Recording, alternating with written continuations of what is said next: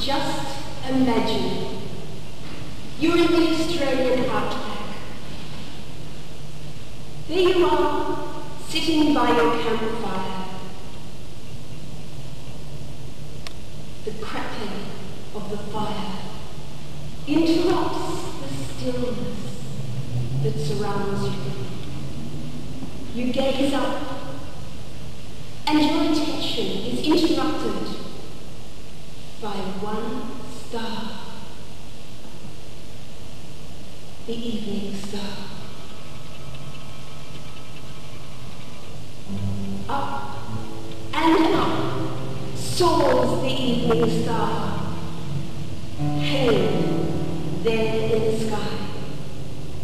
Men watch it at the place of the dugong and in the clouds and of the evening star.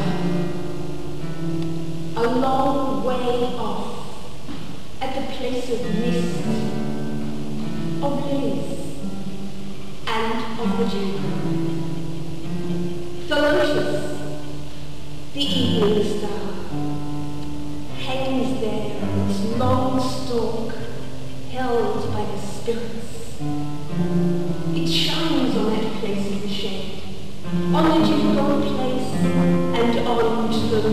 Moonlight clear. The evening star is shining back towards Milingimbi and over the Wanaka, hanging there in the distance. At the place of the dugong and of the eggs of the tree limbs rubbing together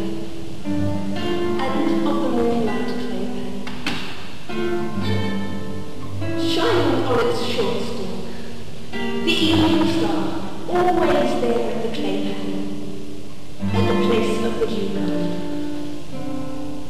There, far away, the long string hangs in the place of the evening star, the place of the lilies. Away there at Milangiri,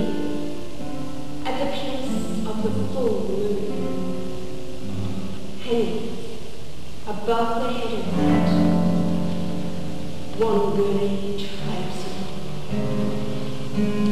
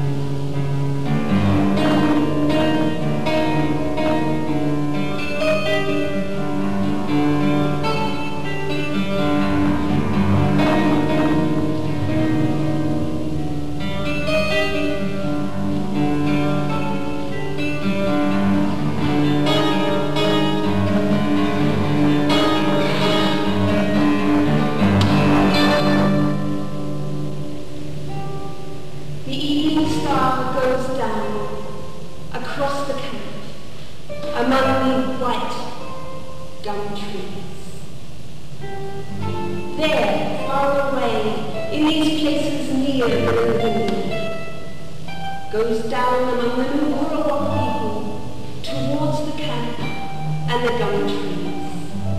At the place of the crocodiles and of the evening star, away towards Milingimbi.